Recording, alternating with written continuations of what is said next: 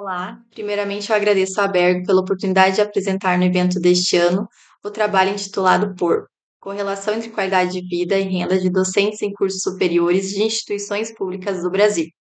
Eu me chamo Marisabel Triquet, sou doutoranda no Laboratório de Fisioterapia Preventiva e Ergonomia da UFSCar e, juntamente com as demais coautoras do Departamento de Fisioterapia, desenvolvemos este trabalho para a temática de ergonomia, qualidade de vida e sociedade.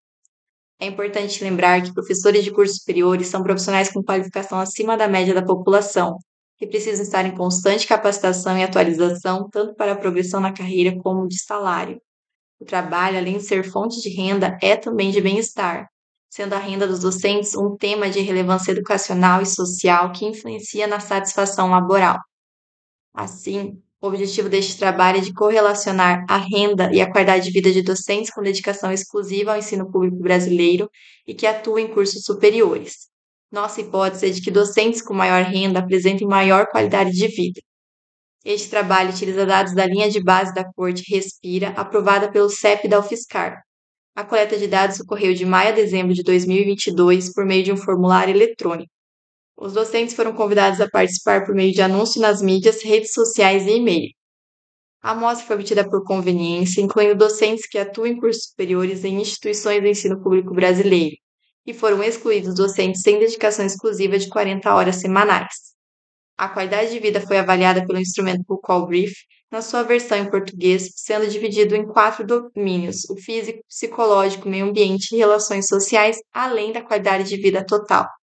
O teste de correlação ponto bisserial foi aplicado com as variáveis renda e qualidade de vida, sendo que a variável independente renda foi dicotomizada em grupo com renda menor igual a 12 salários mínimos, o GR12, e grupo com renda maior que 12 salários mínimos, o GR12+. O coeficiente de correlação foi interpretado como forte, moderado ou fraco. Por sua vez, a renda relatada refere-se à renda familiar com base salário mínimo de 2022. Assim, os GR12 são aqueles com renda familiar de até R$ 14.544 e os GR12+, são aqueles com renda familiar acima disso.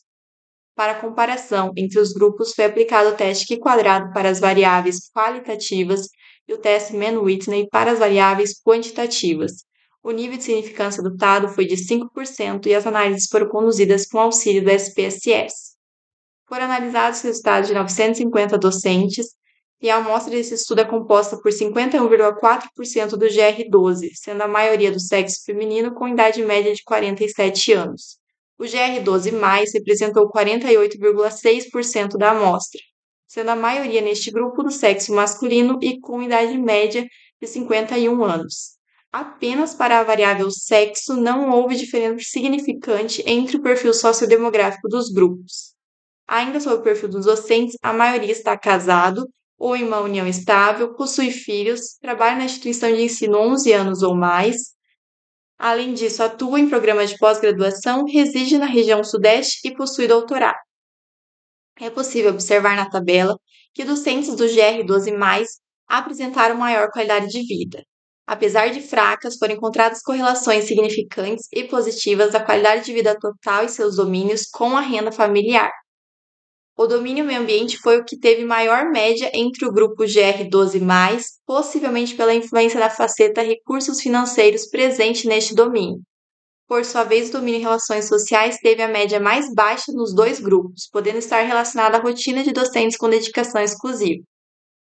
Os resultados confirmaram nossa hipótese, sendo que os docentes com renda familiar acima de 12 salários mínimos apresentaram uma melhor qualidade de vida.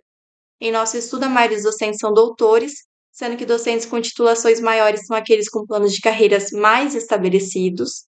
Além disso, a maioria participa de programas de pós-graduação, o que está diretamente relacionado com maior remuneração. Em contrapartida, uma baixa remuneração pode ocasionar, ocasionar o aumento do estresse e um maior esgotamento físico e mental entre os docentes, prejudicando a sua qualidade de vida. Concluímos que há uma correlação positiva entre a qualidade de vida dos docentes com a renda familiar, ressaltando a importância da valorização profissional, a fim de nortear políticas públicas voltadas para a docência. Essas foram as referências utilizadas para o trabalho. Eu agradeço a todos pela atenção, em especial às agências de fomento CAPES e CNPq. Por fim, eu me coloco à disposição via e-mail para eventuais dúvidas. Muito obrigada!